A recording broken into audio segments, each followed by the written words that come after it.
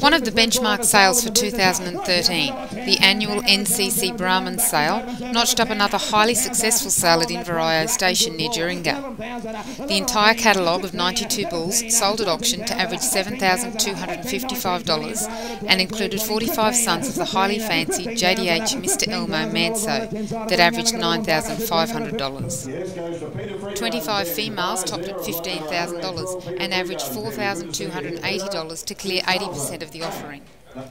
Bulls hit $32,000 twice. The Nobbs family, Yeoman Brahman Springsure, paid top dollar for FBC Dynasty Manso 5361, offered by invited vendors FBC Brahmans Wallen. Gavin Scott and family, Rosetta Station, Collinsville, matched that when Mr. Scott paid $32,000 for NCC Empire, an Elmo son that will join a bull breeding program producing bulls for their own use.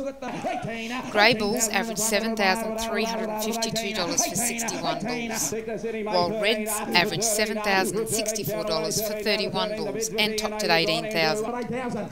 A full sale report will be in next week's Queensland Country Life.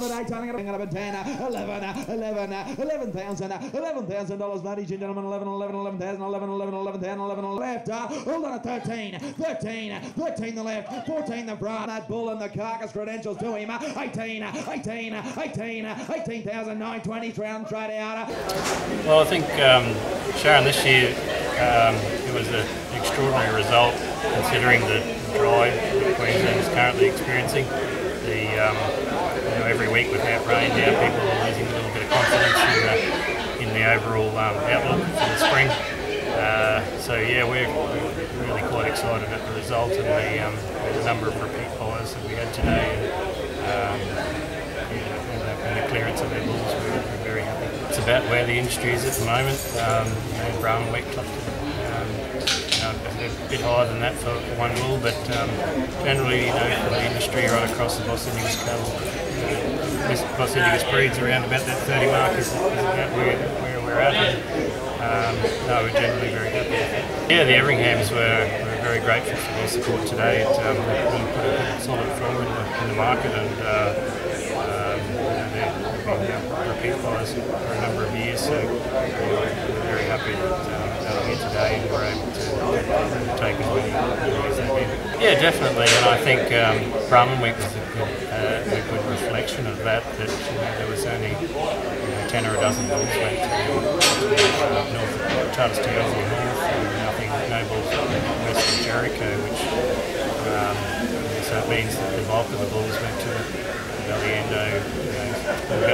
Down to the Wide Bay Burnett, and um, that's a that's a lot of bulls to be absorbed into uh, what is not traditionally Brahman country anymore. Um, no support at all from the north.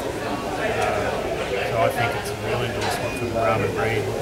People are going back to basics of survivability and, and um, adaptability of Brahman cattle and realising that they have to have a certain surge of Brahman content in their herd. And think this day and age there's a big difference between a good Brahman and a bad Brahman. You know, it's good to see people honing in on those better quality Brahman cattle and, realising what they have to the industry.